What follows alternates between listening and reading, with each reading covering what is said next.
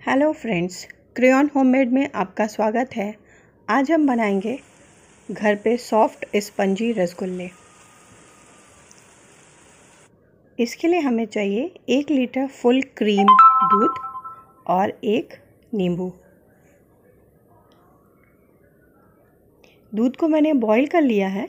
अब मैं इसे ठंडा होने के लिए रख दूँगी, क्योंकि गर्म दूध में हम नींबू नहीं डालेंगे।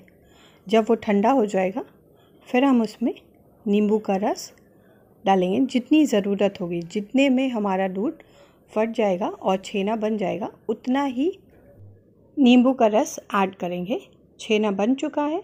अब हम इसे छन्नी से छान लेंगे और छानने के बाद जितना भी एक्सेस नींबू होगा या नींबू का जो भी फ्लेवर होगा, उसको हम हटाने के लिए एक बार इसे साफ़ पानी से धुल देंगे और साफ़ कपड़े में अच्छे से बाँध के रख देंगे और एक्सेस जितना भी वाटर है वो निकल जाएगा और हमारा ये छेना रेडी है।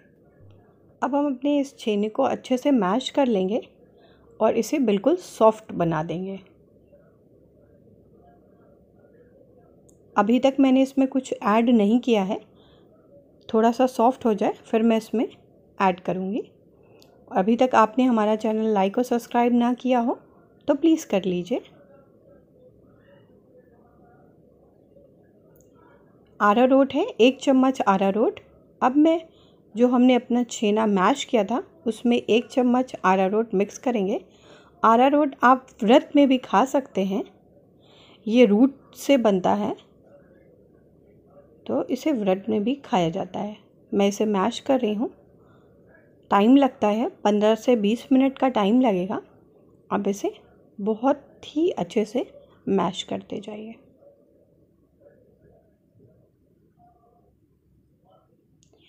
जब तक एक बहुत ही सॉफ्ट सा छेना ना रेडी हो जाए, तब तक आप इसे मैश करिए।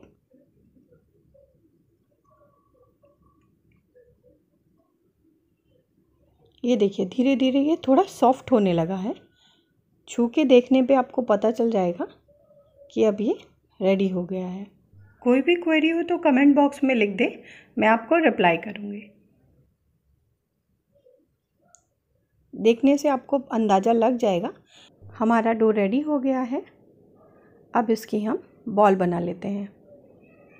जो भी शेप की आप बॉल बनाएँगे, उसका दो गुना से ढाई गुना वो फूल जाता है। तो आप छोटी ही बॉल बनाइएगा। और ये बिल्कुल चिकनी बॉल बनाइएगा। कहीं से भी दरार ना रह जाए, क्योंकि वहाँ से फिर फटने का डर होता है। तो आप उससे अच्छे से बिल्कुल। स्मूथ बॉल बना लीजिए।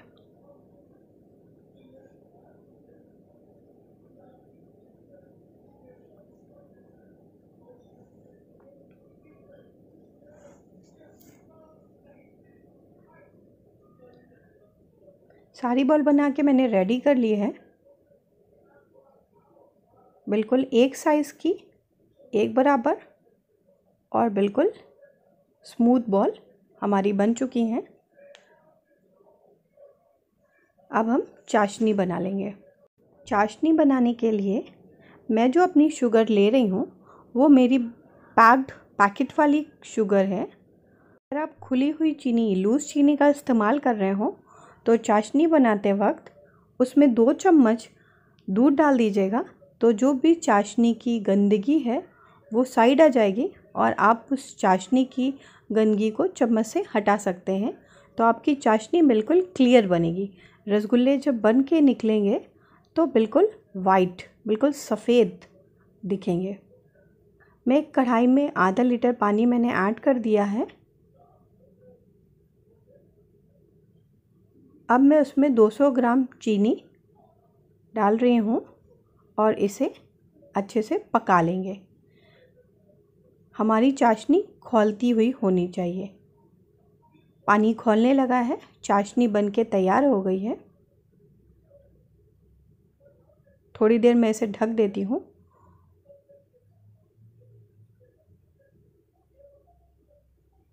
चाशनी में एक उबाल आ गया है। अब मैं इसमें अपनी रसगुल्ले ऐड करूँगी। मैंने एक बार फिर से इन्हें चिकना कर लिया है। कोई भी दरार ना रह जाए। मैं एक एक करके इसमें ऐड करती जाऊँगी। बस चाशनी का टम्परेचर एक जैसा ही होना चाहिए। आपको पानी कम लग रहा हो चाशनी में तो आप उसमें गर्म पानी धीरे धीरे ऐड कर दीजिएगा।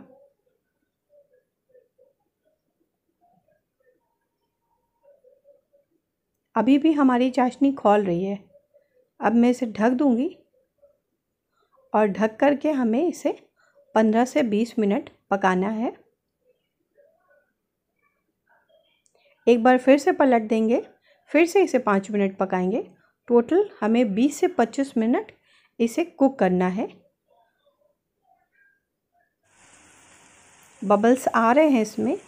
साई, सारी साइड से हमारे छेने अच्छे से पक जाएँगे। ये देखिए, कितने अच्छे से बबल्स आ रहे हैं। पक गए हैं और ये अपने सॉफ्ट हो गए हैं स्पंजी हो गए हैं। साइज़ भी इनका डबल हो चुका है। फिर से मैं इसे ढक रही हूँ। मैं इसे पाँच मिनट और पकाऊँगी। ये देखिए, हमारे छेने के रसगुल्ले तैयार हैं। इसे इंजॉय करिए। Thank you